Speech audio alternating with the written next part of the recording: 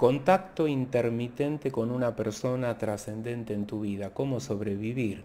Bueno, mucha gente está en esta situación, que tiene un contacto intermitente con una persona que considera trascendente, que considera la persona más significativa de la vida, pero surge una crisis y a, partir de esa crisis el contacto es intermitente.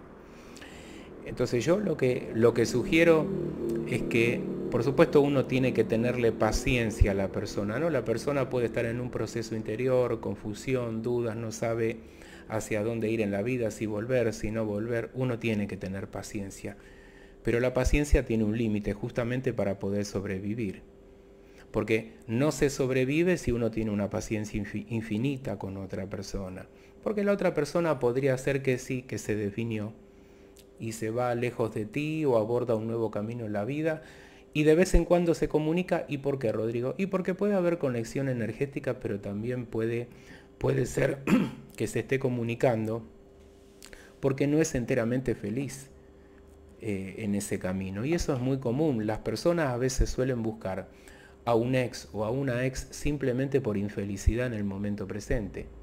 Entonces, como yo no soy feliz, abordé un camino, me alejé de vos, no sé qué hacer con mi vida, entonces te hablo a ver qué siento, a ver qué pasa, a, chequearte. Y del otro lado hay una persona que justo es la que pregunta, ¿cómo hago para sobrevivir a esto? Bueno, para sobrevivir a eso, después de haber tenido paciencia, de haber intentado y la otra persona siempre te lleva al mismo juego, hay que decir basta. Hay que decir stop, hasta acá llegamos. O te comunicas para empezar algo serio y cambias o nada, pero no puede seguir habiendo una comunicación intermitente. En todo caso, así se puede lograr algo un poco más serio, un poco más comprometido. Pero si cada vez que la persona no sabe qué hacer con su vida, se comunica con vos o por capricho o por ego o por conexión o por deseo sexual, y vos te comunicas con todo el entusiasmo de que la persona haya cambiado, de que esta vez manifieste otro tipo de relación, lo que, lo que va a pasar es que entras en un juego, entras en una vorágine donde siempre pasa lo mismo.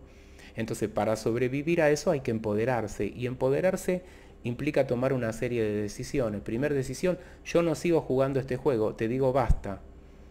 Y por supuesto que acá hay que tener el valor de decir algo así y, y sobreponerse al, al, miedo interior, ¿no? porque la gente tiene generalmente mucho miedo interior de ser abandonada definitivamente por la persona amada, pero justamente seguir en esta situación de contacto intermitente y vos sujetarte al capricho de manera incondicional de la otra persona no te va a hacer arribar a ningún buen puerto. Entonces vos tenés que plantarte en algún momento, decir basta. Y este decir basta no es decir, dije basta Rodrigo y ya está todo solucionado. No, empezar a trabajar en uno o antes de decir basta, empezar a trabajar en uno mismo que es lo que siempre suelo comentar yo, ¿no? Trabajar en la energía personal, eh, trabajar en, en, el aspecto interno, en el crecimiento interior, en las decisiones que vos tenés que tomar. Y esta es una decisión importante porque vos con esto le transmitís a la otra persona o todo o nada. Entonces vos te posicionaste completamente distinto. Entonces la otra persona empieza a pensar que algo está pasando y que te va a perder entonces, actúa aún ahora, perdón, o en el tiempo que viene o no actúa más. Y si no actúa más, Rodrigo, entonces se terminó. Entonces se terminó, porque no toda relación de amor donde hay conexión y los dos se separan se va a solucionar. Eso se lo tienen que sacar de la cabeza. Eso no es real. Yo estoy hablando de una manera totalmente real. No toda relación de conexión cuando se separan se va a recuperar, se va a sanar y van a volverse una relación más poderosa. Miren, a mucha gente no le pasa eso y a muchísima gente sí le pasa. Pero lo que no se puede, si es que uno quiere sobrevivir, porque esa es la pregunta de la persona, lo que no se puede es eh, estar de manera incondicional como esa canción que cantaba Luis Miguel hace 20, 25 años, que la gente la debe recordar, estar de manera incondicional a una persona que no sabe lo que quiere, que va, que viene, que no cambia, porque la clave es esa, la clave es el cambio. Si la persona te busca, cambió, se transformó, sabe lo que quiere, te busca y te dice quiero esto, esto, esto y esto y de esta manera. Pero si te busca para lo mismo y vos decís quiero sobrevivir, para sobrevivir hay que plantarse con dignidad, trabajando en uno mismo y diciendo no, o todo o nada, o esto o nada. Y si, y si, y si es todo, fantástico. Y si es nada, es nada, es que no tiene que ser y lo tenés que entender y algún brujo te lo tiene que decir, como te lo estoy diciendo yo ahora. Si es nada, es nada, es que no es la persona para ti. Y vas a sobrevivir y no es un cataclismo universal, ¿eh? no es un cataclismo para todo el universo en el que vivimos que una persona con la que vos tenés conexión no vuelve más. Es que se terminó, es que nuestro ego nos hace creer que es un cataclismo. No, no es un cataclismo, la vida sigue y después encontrás a otra persona, te enamorás apareces en mi canal dentro de cinco años y decís, gracias Rodrigo, ahora entiendo lo que usted me quería decir. Ahora sí me enamoré, ahora sí encontré mi llama gemela. El de antes no servía para nada, Rodrigo, ahora me doy cuenta. Entonces hay que tener el valor de ver las cosas como son si uno quiere sobrevivir, empoderarse, tener una buena vida y no malgastar años de la vida esperando la reacción de una persona que ni siquiera sabe lo que quiere hacer. Y por supuesto que se van a dar casos donde la persona, vos te plantas así, y la persona dice, la pierdo, la pierdo. ¿Qué pasó? ¿Por qué la estoy perdiendo? ¿Por qué, ¿Por qué ahora me está diciendo que no? Siempre me dijo sí. Y empieza a pensar y empieza a elaborar cambios y habla contigo y los dos se ponen de acuerdo y el problema se resuelve y felices de acá hasta el último día de vida. Al que le toca eso se lo deseo, lo felicito y, fantástico. Pero tenemos que tener el valor de entender que no todos los casos van a terminar igual, que no, no todas las rupturas van a ser con un final feliz. Van a ser con final feliz eh, por el hecho, en todo caso, de que, bueno, se rompió, no se puede arreglar, vos abordaste un nuevo camino, diste con un nuevo amor, esa historia te va a hacer feliz.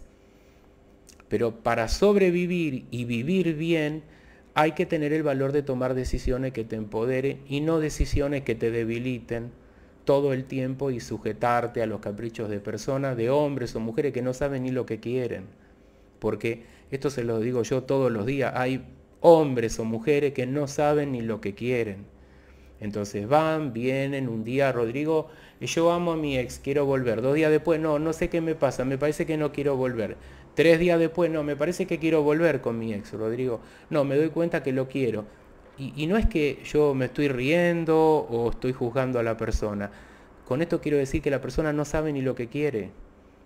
Entonces la otra persona del otro lado, si se sujeta la voluntad a alguien que no sabe lo que quiere, lo puede hacer un tiempo, pero después para sobrevivir y vivir bien, tiene que decir basta, o todo o nada.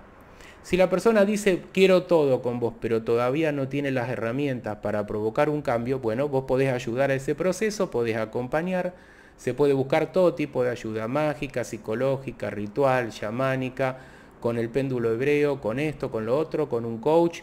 No sé, hay 100 caminos distintos, pero los dos ya tomaron una decisión y lo que les falta aprender están dispuestos a, enseñárselo el uno a otro. Y si hay un desequilibrio energético se sana, y si hay traumas en uno y en otro se puede empezar a trabajar, pero ya los dos están de acuerdo y firmes en algo. Todo lo demás no sirve. Sinceramente, todo lo demás no sirve. Todos los demás son cuentos que nos contamos desde nuestro ego y sufrimos meses y años y años y años. ¿Y, cómo puedo hacer para sobrevivir y vivir bien? Eh, darle una patada en el culo podés hacer, podés hacer eso. Darle una patada en el culo a la persona. Se lo digo en criollo de una manera muy, muy directa. Darle una patada en el culo, nada más. Y sobrevivir.